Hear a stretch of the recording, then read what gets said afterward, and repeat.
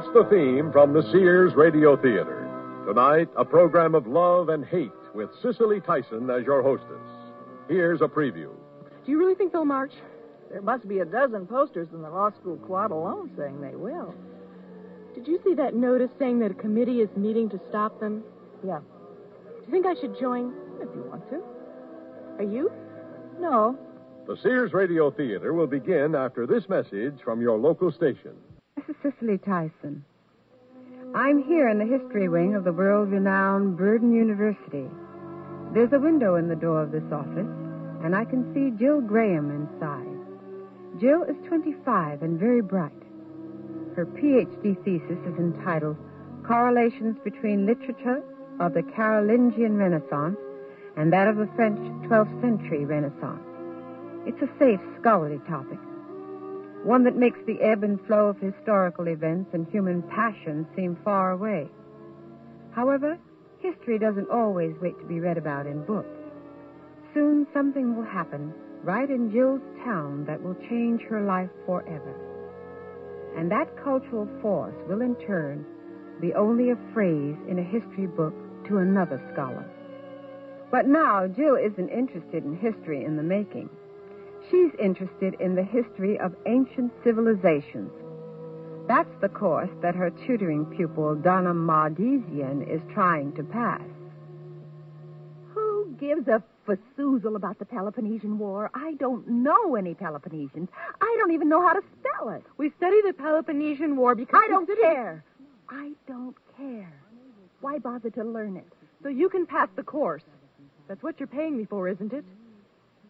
And that's only the beginning of our story.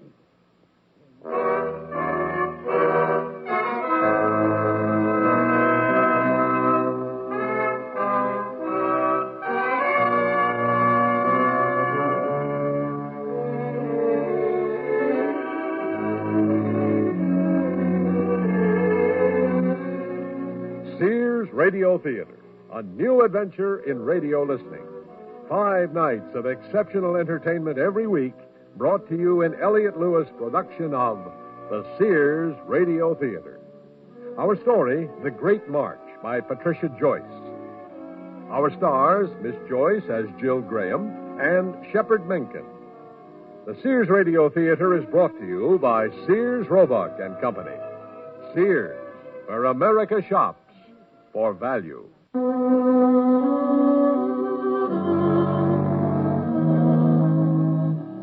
Jill Graham is having trouble with her pupil, Donna Mardesian. It seems that Donna has a short attention span and a short temper.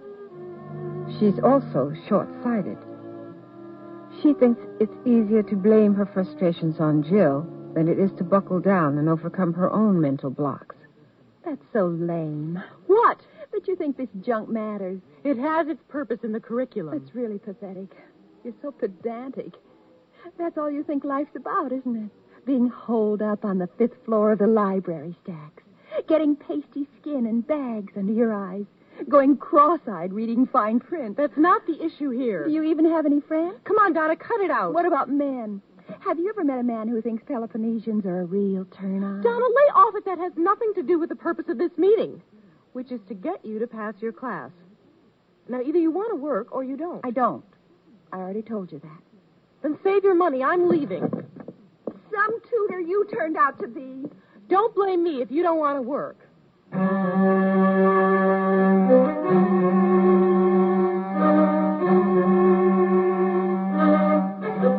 don't know why you let Donna upset you so much.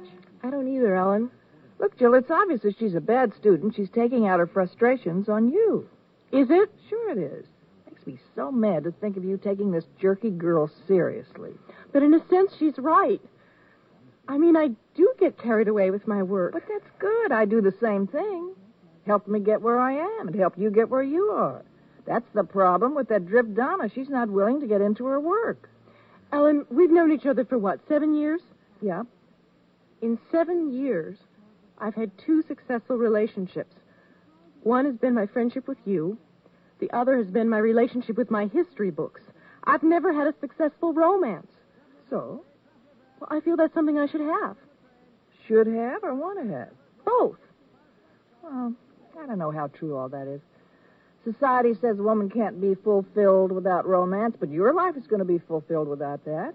You've got the beginning of a very important career in history. You've got both, law school and Roger. Well, yeah. I just think life is really precious, and I want to know as much of it as I can. I don't know how much I'm learning about people up in the history library. I'll tell you one thing, Jill. You know a lot more about people than Donna Mardesian does. You know not to try to hurt someone else just because you can't cope.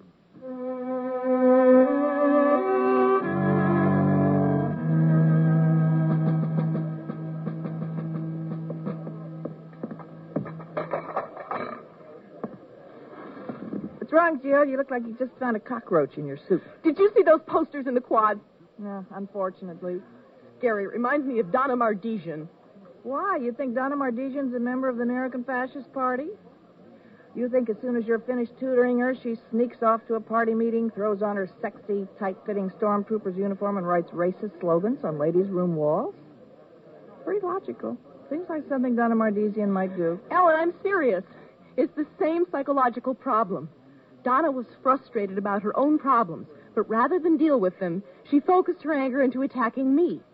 Now, a lot of these American fascist party guys are frustrated and lonely. Their racial slurs come out of their own unhappiness. I think you're right. I don't want to see the American Fascist Party marching through Burdenville. We shouldn't have to deal with their hate any more than I should have to deal with Donna Mardesian insulting me. Well, Do you really think they'll march? there must be a dozen posters in the law school quad alone saying they will. Did you see that notice saying that a committee is meeting to stop them? Yeah, Do you think I should join? if you want to. Are you? No. But you're Jewish. Look, I don't like what they stand for, obviously, but legally they have a right to march. Isn't it a question of humanity, not legality? The purpose of law is to help society function in an equitable, humane way. Don't you think that's a really pompous statement? Probably. I don't know. I'm going to that committee. Then go. Help you get out of the library. I'm not doing it for social reasons. But you said you wanted to be around people more. Look, I happen to think it's the right thing to do. The right thing to do is to protect their right to free speech. My favorite Oliver Wendell Holmes quote What the Constitution must protect is not free thought for those who agree with us, but freedom for the thought we hate. I had American History 239. I know what the guy said.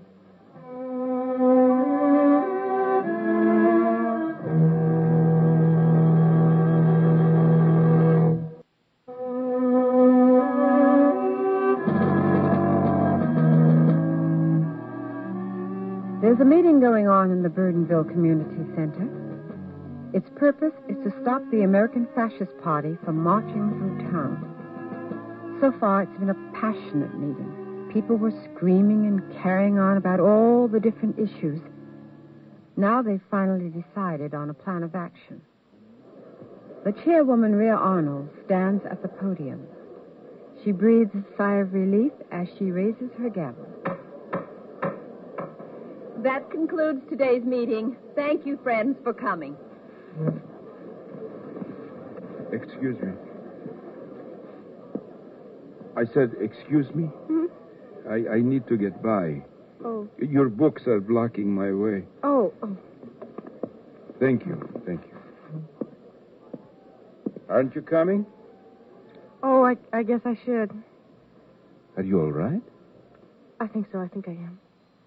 Are you ill? Do you, do you need some help getting out? No, no, I'm, I'm fine. The meeting just affected me a lot, that's all. Yes, yes. It, it, it is very unpleasant.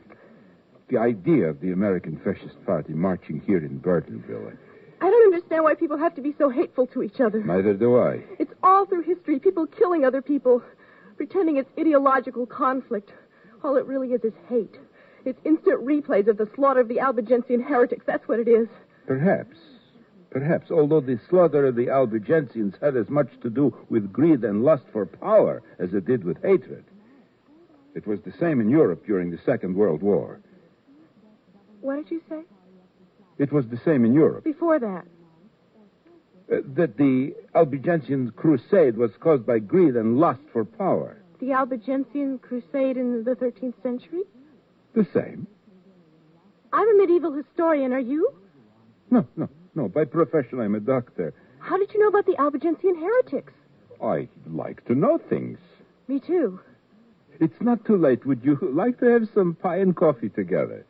Ah, I'd, I'd like to talk with you. I, I think that gentleman over there would like to close the hole. oh, oh, oh, I'm sorry. Um, yes, let's. That, that would be nice.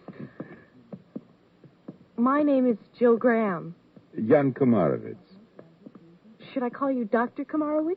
Only if you want me to look at your x-rays.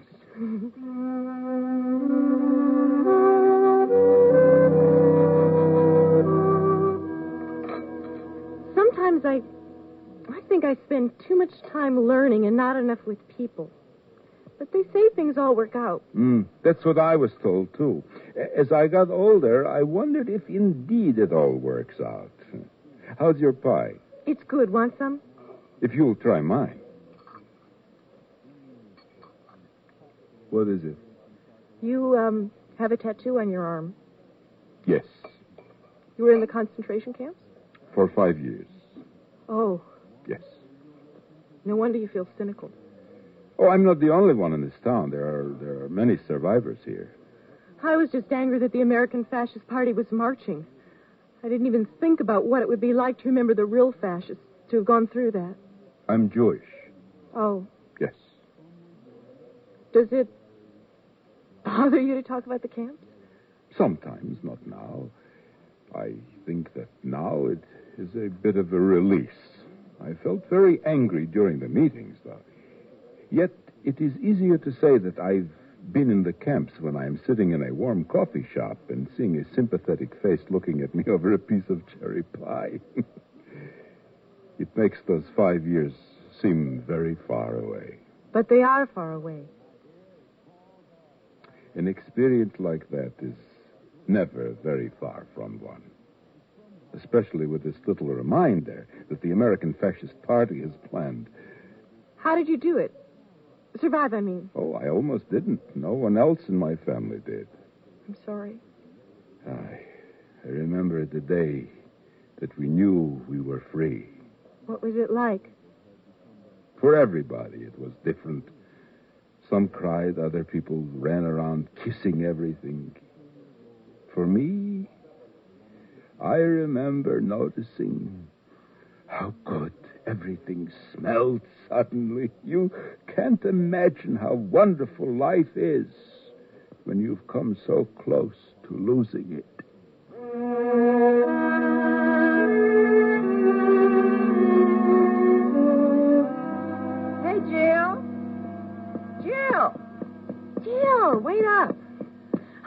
You going?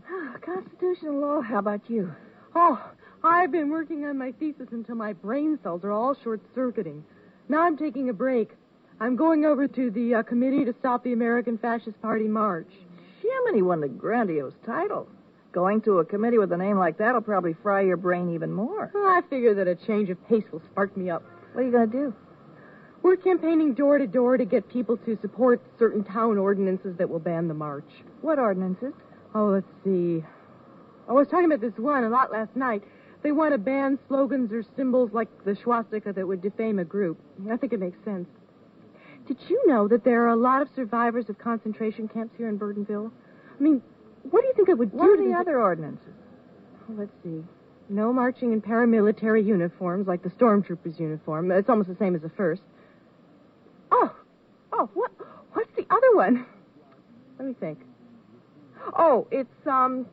They want the American Fascist Party to post an insurance bond for any damages that might result from the march. It'll never hold up under the First Amendment. How can you say that? Because it won't. Shouldn't. You sound so confident. Well, you know me. You know I always come off more confident than I am. I really don't know what'll happen. But I tell you, Jill, I could bore you with long legal arguments and precedents, but to me, the basic issue is are we going to have freedom of speech or not? If we are, it's a costly freedom.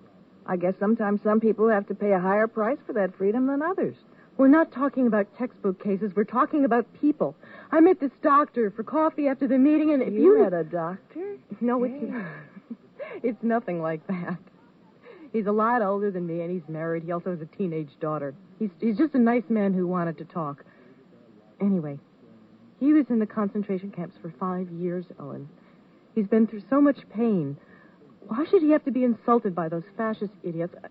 Isn't there such a thing as protection from mental cruelty? Why should he have those old wounds opened up again, you know? It just doesn't seem fair. Well, it doesn't seem fair to deny people the right to speak, does it? No. Oh, Ellen, I don't know. It's all so confusing. All I know is that right now I need to get over to my committee meeting. I'll see you tomorrow. Hey, have a good time with your doctor. Ellen!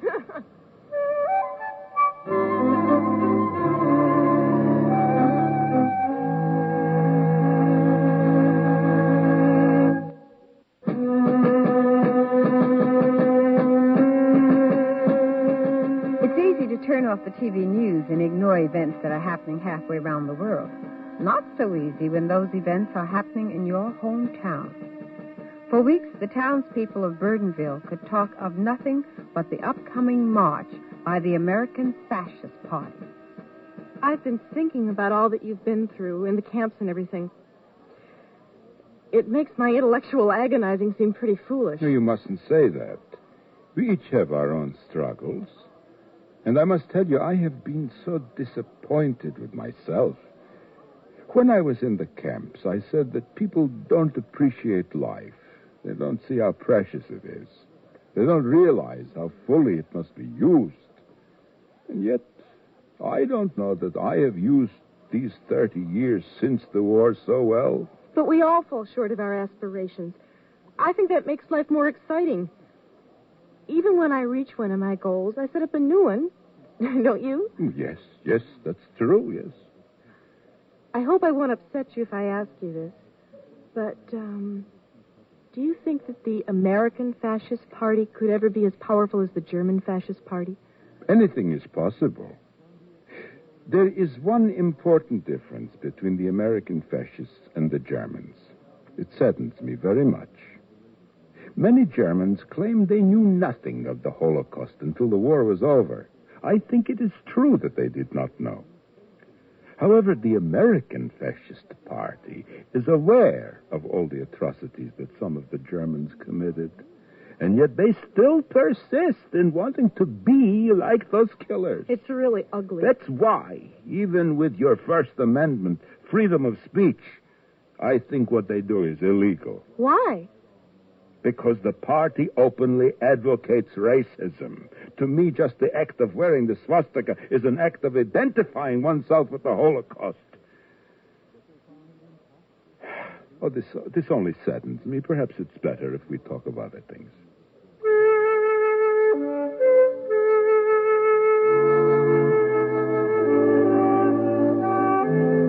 And then things became so very different between Trudy and me. Right around the time that she was pregnant with Ilana. Why? I would be lying if I told you that I understood the reasons. Oh. Well, what happened? I think the word arid, arid, best explains what my marriage is like. Arid? Yes, it's it's it's like your southwestern deserts. My marriage, well, it's strong. It's it, it's a very real force in my life, and I believe it is a force in Trudy and Ilana's life. Yet, yet there's no passion. Nothing grows there. Then why did you get married? Ah, ah. it was not always that way. I first met Trudy after the war during my burst of idealism when I really thought that the world could change and be better. Things were so good with us then, so fresh.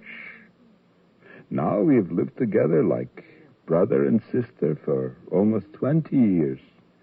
Yet at least I have the memory of that first tenderness to console me. You're like me. You're too hard on yourself. Hmm? Perhaps. Really? How are you hard on yourself? Oh, I'm a perfectionist, you know. So I take it really hard when something like a relationship doesn't work out. This is not just a relationship. It is, it's my marriage. Yeah, I'm, I'm sorry. Yeah, I, I don't, compl- I don't complain about my marriage. This is rare for me. I- Oh. oh, it's my fault. My disappointments and expectations are so intense. I I think I overemphasize. What of you? What of you? Have you a nice friendship? Do you mean, do I have a boyfriend? No. I can't believe this. I get along well with women, especially my best friend Ellen, and I usually have excellent relationships with my professors and the undergrads I tutor. Except for this one girl, Donna Mardesian. But, I don't know, with men, either they aren't smart enough or they're too wishy-washy, or if they are guys I like, they don't like me. But Why is that? I don't know. But you're so lovely. I think I'm insecure. You should be very confident, a successful young woman like yourself. Oh, knock it off. You sound like my mom. I should be this, I should be that. Well, in some things, I'm a failure, you know? I mean, some things may not go the way I'd like them to. That's just the breaks for me. You're very young. 25 isn't so young. It's time enough? I don't care anyway. Yes, you do. Not that much. It's getting dark. I better go. I will walk you home. You don't have to. It's getting dark.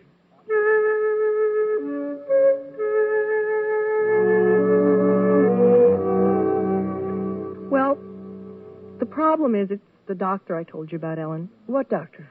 Oh, Ellen, you remember Jan Kamerowitz, the one who's on the committee to stop the march? The one with the wife? Right. Terrific. Oh, I know it's not smart, but I've been spending a lot of time with him, you know, after we finish our volunteer work and everything, just as friends. Only I've, um, started thinking about him in a romantic way. I guess that in some way it's healthy for me. He's the first man I've known that I've felt compatible with. What do you mean by that? It's like being with you. Oh, yeah? no, only it's different because you're different people, of course, and there's the whole man-woman undercurrent with Jan. Anyway, I, I can be relaxed and be myself around him. And he's sensitive and intelligent enough to know what I'm saying. Sometimes I think he understands what I'm trying to get across better than I do myself. Sounds good, Joe. Yeah. Gonna do anything about it? That's just it. I don't know if there's anything to do. For all I know, he might think I'm just another mousy haired graduate student. Oh, I can't imagine anyone calling your hair mousy. Any more than I can imagine someone thinking of you as just another graduate student. See, that's another thing. He's real supportive, just like you are. He's also married Yeah. with a teenage daughter. Well, maybe my romantic feelings will all kind of blow over. Maybe. What's new with you? Enough about me. Well, Roger's in the tax law class this quarter, so I never see him. What's happening on your committee now that the town ordinances have passed? Or do you spend all your time daydreaming about your doctor friend? No. No, we have to go to court. The American Fascist Party says we're denying their freedom of speech. We're trying to raise the money to hire a really good lawyer. I knew they would. I hope they uphold the freedom of speech. Well, that's encouraging. Jill, I'm a bleeding heart liberal law student. Wait until I get out in the cold, cruel world and someone from your committee offers me the case in favor of the town ordinances. I'd change my colors soon enough. Would you? Argue the case to uphold the ordinances? Not me. But I'd be tempted. Fascinating issue. Does free speech give someone the right to be offensive? Does it? Well, the danger is that if the court decides that offensive speech is illegal, then somebody has to decide what is offensive and what isn't. That's not healthy. Having someone dictate what's morally right and what's morally wrong. Too much censorship power. I see what you mean. You do? Sure. Then how come you're trying to stop the march? Well, my gut tells me to stop them. Even if my head knows that they probably should be allowed to march. Ah. You know what really worries me? Hmm? What if there's a riot or something? Couldn't the American Fascist Party be arrested then? I don't think so. Not unless they incite the riot. Why? There's this case, Bordenella versus the city of Philadelphia. A priest was giving a ridiculously bigoted speech, and the crowd rioted. He was arrested on breach of peace, then acquitted because he didn't urge or incite the riot. It's been used as a precedent to protect civil rights workers and stuff. Oh, boy, what a confusing mess. Don't knock it. We lawyers need those messes to make a living. Ellen! Just kidding. Gee.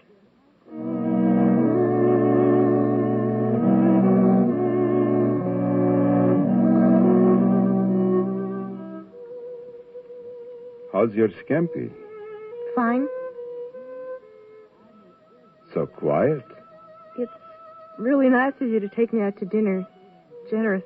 But you're the one who's generous. Your friendship has given me back some of my old zest for life. Thank you. Please don't be offended. At what?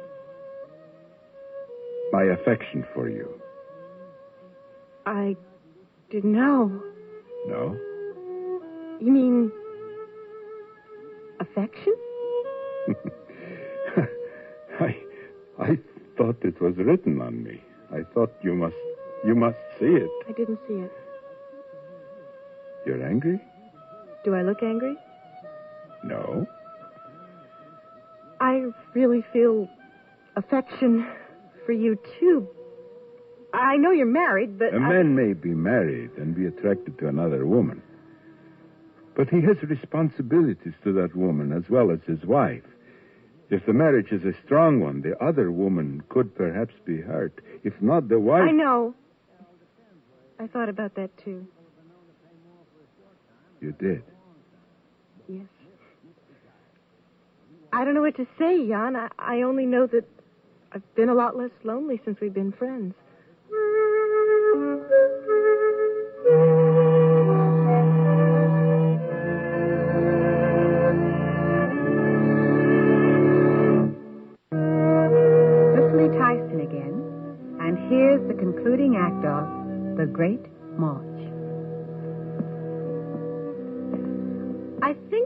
Court of Marie de Champagne was the most fascinating thing about the 12th century Renaissance. Oh? Why is that? It seems to me that was the first time women as a group were considered as a real social force. Did you know that during the Middle Ages, one of the church councils actually debated whether or not women had souls? No, I didn't. They decided that we did. How, how brilliantly perceptive of them. We're here. Yes, I love talking with you. Yes. And I you.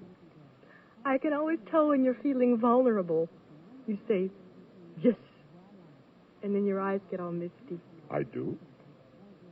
yes, I must. I find myself wanting to say yes right now. yes. yes. I I can't ask you to come in, Jan. I can't. It's not just a question of whether I care for you or not. It's there's too much else involved, you know. yes. Good night. Jill, What? whatever it is you decide, I trust you. Do what is right for you, and it will be right for me, too.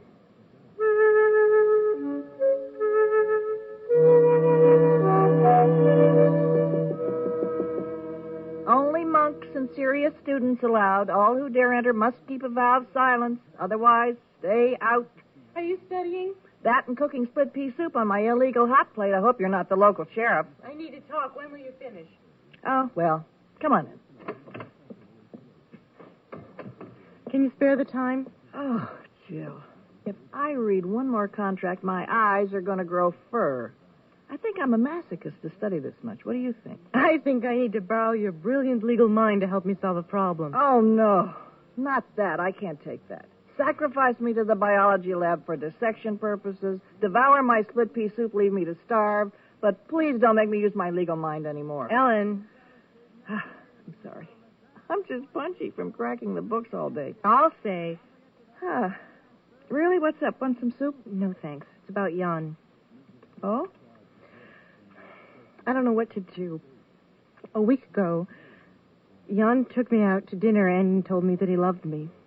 A week ago. Why didn't you tell me? I still thought it might blow over, I guess, or, or maybe I wanted to be sure of what was happening before I said anything. So, what's happening? I don't know what love means, really. I, I think that word is used to describe so many different kinds of feelings. Even, you know, feelings that are ugly, like forcing another person to act a certain way because you love them, or fighting wars for love of country or some ideal. Or joining the American Fascist Party for the love of your own ethnic group at the expense of the rest of humanity. Right. Anyway, my my feelings for Jan are different from anything I've ever felt for a man before. I can talk to him on an equal level. We're interested in the same things. But but it's more than that. We're aware of each other's needs and, and what we can do to make things better for each other. I know what you mean. I feel that way about Roger. There are all these things in the way. I don't know if I have the strength to deal with them. And I don't even know if I should deal with them. I don't like that word should. You know that. To me, it seems like you're worried about what society says you should do, not making up your own mind from your own personal values. I want to make up my own mind. But what's the problem? Well, he's a lot older than I am, but I think I can handle that. You do? It's a more clear cut thing. All I have to ask myself is do I care enough about him to want to be with him when I'm middle aged and he's an old man? The answer is yes. What else?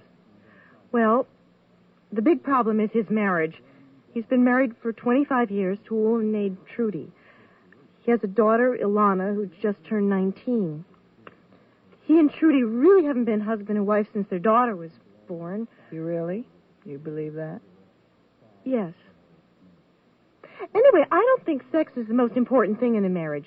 Jan and Trudy have other things. Oh, Ellen, it's awful. If I get involved with him, I'll hurt a woman and girl that I don't even know. People who mean a lot to Jan. But if he doesn't leave Trudy, it'll be just terrible for me. I couldn't love someone and be second. Don't do that, Joe. Remember how I felt when I found out Barry Simpson was seeing me and Lisa Kelly? Destroyed my self esteem. Yeah. And then there's Jan. He must be quite a man. He is, but I don't know if he could handle the confusion of having a relationship with two women. He really respects Trudy. I don't know what it would do to him to hurt her or me. I just don't know. My brilliant legal mind is hearing all these great reasons against getting involved. What are the reasons for doing it? That was the first thing I told you. I love him. I don't know. Seems to me, Jilly, that your feelings about this man are the same as your feelings about the march that brought you together in the first place. The American Fascist Party march? No, the March of History. Of course, the American Fascist Party march. You think of that as. No, wait. It's more than that. There's a conflict between your gut reaction and your mind, your heart and your head. Your heart says, I hate what the American Fascist Party stands for. I don't want them to march.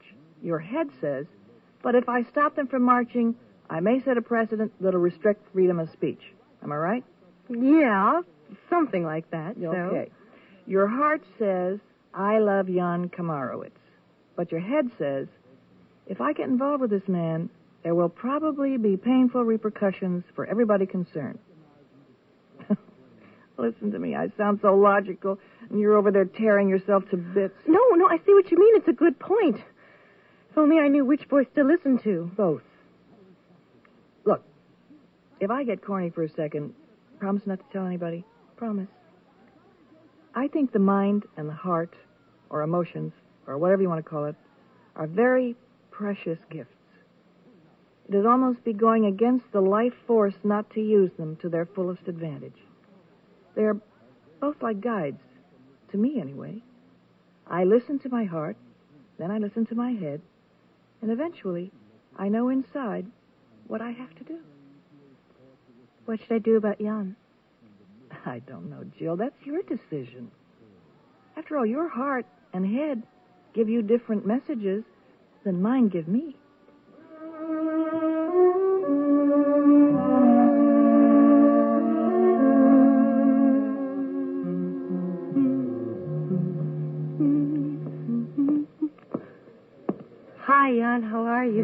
Very good, very good.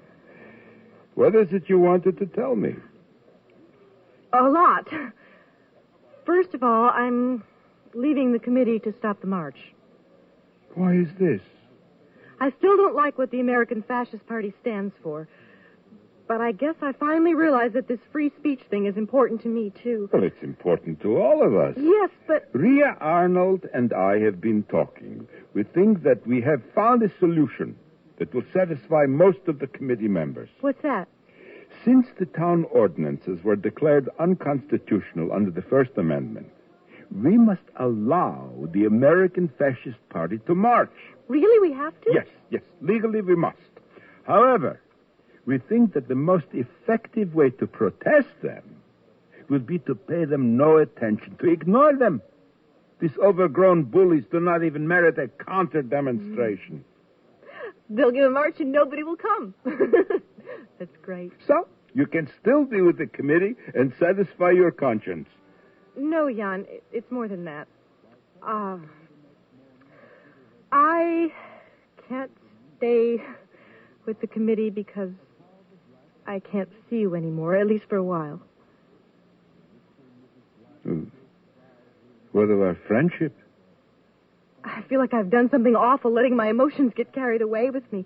I should have known it would be bad to get so attached to you. How can you say that? Oh, I don't know. I, I know I can't get involved with you in a physical way. It, it would just hurt you and me and your family too much. I should have seen that. I should have known what I was getting into. I, I should have stayed in the library where I belong. Yes. What's that supposed to mean? Yes, yes, yes, you do belong in the library. You are a brilliant scholar. But you also belong with people. You are one of the most sensitive and caring people I have ever met. Oh, sure. Still, I understand that it would be hard if we became more deeply involved. I believe it is a wise decision you have made. But please don't say that our friendship should not have been. You have helped to bring back my passion for life, something that I thought had died forever. But it's painful. What? Getting close and breaking off. Perhaps there is some pain mixed with the joy. Joy. Has it not been a joyous friendship? Yes. Will you be angry if I tell you something? How do I know until you tell me? I hope that I can take this passion for life that I have rediscovered with you and bring it back to my family Why? so I can keep alive what you have brought out in me. That way I can feel your presence even if I don't see you. Then I hope you stay happy. And what of me? What of me? Have I given you nothing? Confidence. Caring for a man whom I admire. I I never thought that was going to happen for me. You will use this for me? How? By using the library for studying, not for hiding. By believing that there are other men who will care for you as I have. Men you will like. I'll try. Don't try, do it. Okay. It is ironic, you know, What? That this march, which I hate so much, has helped to bring back the joy of life that I lost when the real fascists first came to my home. Has it really? My happiness after the war was a false happiness, a reaction to intense sadness. That happiness I have felt knowing you is something I have not felt since I was very little. It is a happiness that is best appreciated by people who have once felt very disillusioned. An innocent happiness. I I hope you can understand a little. A little. Hmm? Then that is enough.